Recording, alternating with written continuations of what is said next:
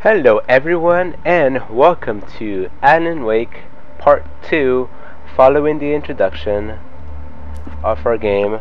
Last time we made it to the cabin or we were we were outside the cabin. This time we're going to move It's into this something, all area. We're going to go Don't into worry. the diver's I'll get you aisle. inside safe and sound before it gets Let's dark. get into this game. the flashlight. I know. I'm okay. Alice had a phobia. The fear of darkness. I wanted to make sure we were inside with the lights on before sunset.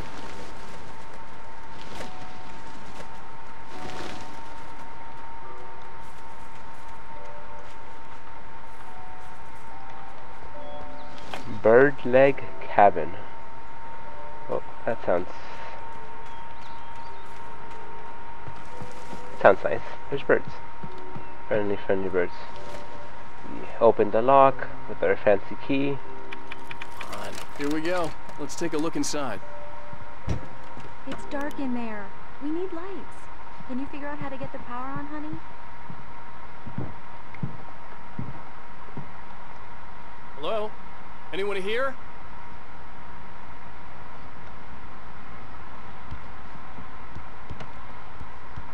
Let's look for any coffee thermos of it all. Just take a glance around. See if these doors open. Nothing to do here. The Magic question right here is left or right?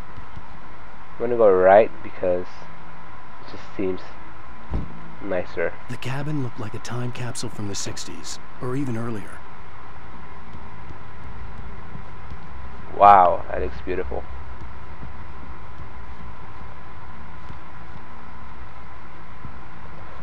This is one fancy hookup that Alan found. Look at this. This is so nice. For a moment, the oppressive feel of the nightmare I had seen on the ferry returned. Whoa. Whoa!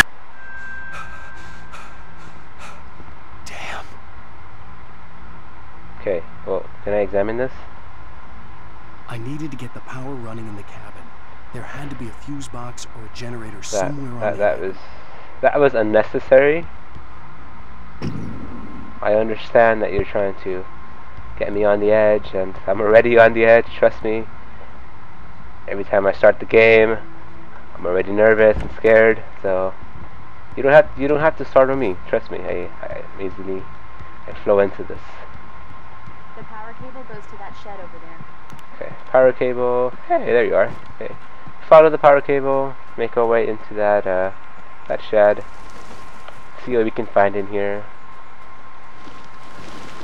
An old generator had been connected to the power cable. All right, you can you can start it up, I guess. There you go. Uh, this this somehow generates power. I'm not gonna question it. Let's just say it works. Imagine this lake. Look at how beautiful that is. I mean, uh, once the sun goes down, around a bit. probably not that beautiful. But for now, look at this. And we get a cutscene. It was a beautiful place. I told myself I could rest here, sleep here, and forget about my work.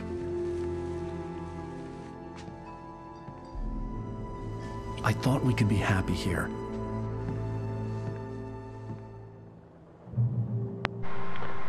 And now it's dark. So it went from this. Ooh, Alice had told me about Cauldron Lake Lodge. The old building used to be a hotel, but these days it was no longer open to the public. but the lights on. Where is it? No. Where are you? Oh, somewhere over there. Anyways, my point is, it looks so nice in the day, beautiful, gorgeous, and now it gets dark, and we're suddenly in a not so friendly place in the middle of nowhere. And even the light out the window is scary. And look at this, we have a dungeon type area down here. It's not. You hear that noise? It's the sound of us gonna die soon, watch. Look how dark this is. Let's go inside. Maybe it's there's a fireplace in here or something. We can Alice? it can be cool. Honey? It can, it can be equal. Ooh, something green. Radio. Yeah. Okay, let's go back upstairs. He's probably up there somehow. Probably in that dark room Alan, where we were afraid of. Upstairs. I have a surprise for you. Bet you do. Bet you do. Ah! Hello there. I'm not the surprise. It's in the study. Aw. Go take a look. Okay. Don't do it, Alan. We, we, we- we've been there before. You saw what happened last time. It's dark in there. It's eerie. Alright, Alan. You gotta knock on that door. Just surprise! Surprise! Alice? What is this? I guess I have a small confession to make. I thought maybe you could write here that a change of scenery would get you past. Damn Alice! You.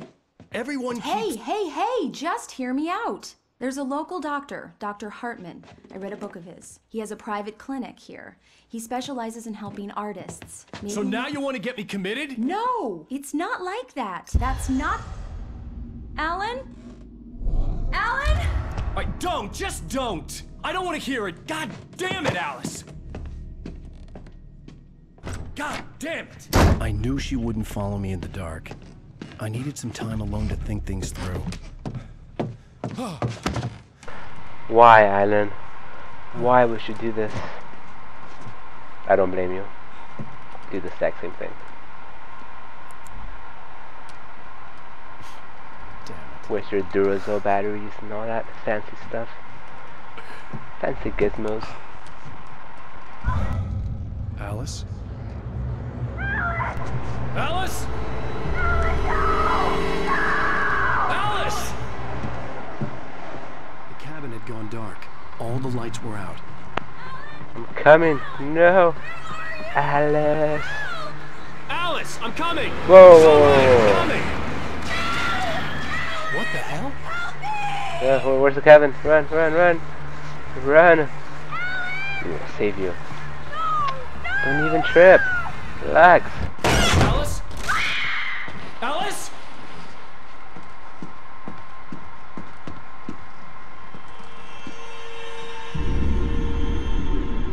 Oh no!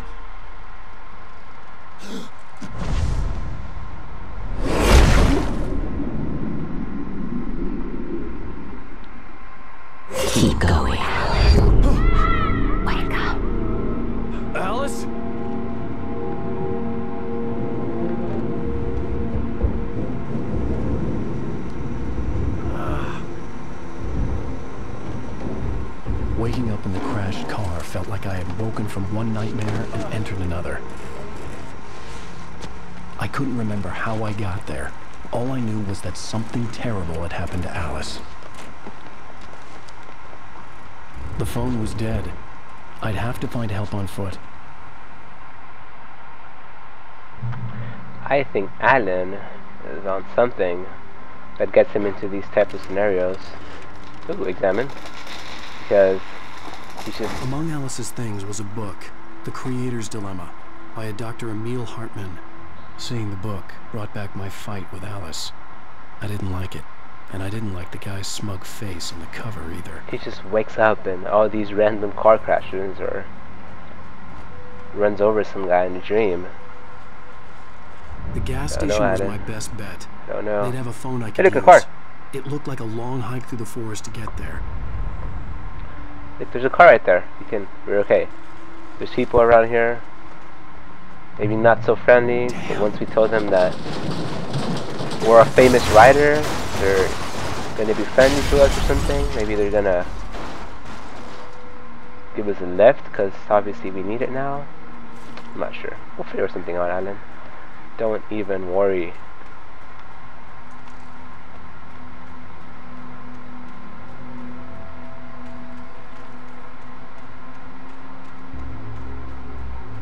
Hello? Hey, hey, look, follow the light. Hello? Someone there?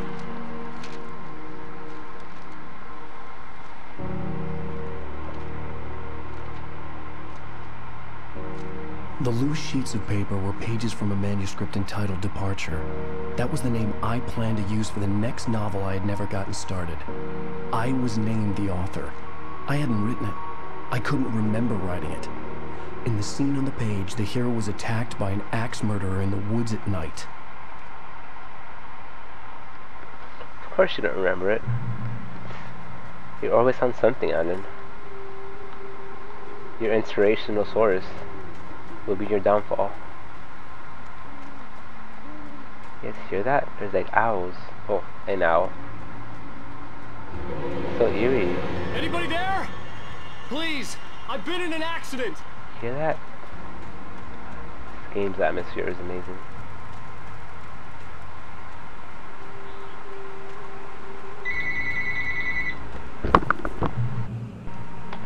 Sorry about that you guys, the phone rang, had to go attend it, but basically probably gonna cut the video around this area, maybe head out to a little bit further sign. out north and then wouldn't have to cut it here. the to we can continue the next episode.